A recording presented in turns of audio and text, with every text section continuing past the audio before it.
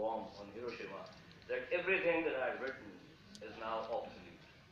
And then, of course, they went on the Yale group and they, they uh, came up with a book. And then he joined Rand and you know people like Herman Kahn and others. At the end of the day, uh, luckily neither Kahn's theory nor Schelling's theory were actually tested. So let's say something about the idea of deterrence. Follow up from what Brigadier Savik ended with. He said that uh, you can't think of nuclear weapons as a panacea. It's not something that's going to give peace.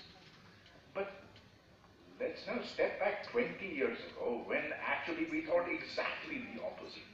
We thought that nuclear weapons were the guarantor of peace and that nuclear weapons would give Pakistan now permanence in the region and would allow it to prevail over India. And do you remember Nawaz Sharif saying, अब हमें कोई मैली आंख से नहीं देख सकता तो अब तो सभी मैली आंखों से हमें देख रहे हैं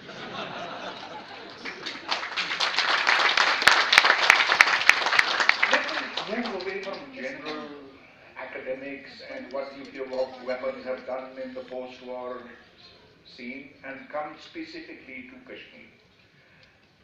Nuclear weapons have actually achieved there is to freeze the status quo. Today, the line of control has become effectively, because of nuclear weapons, the international border.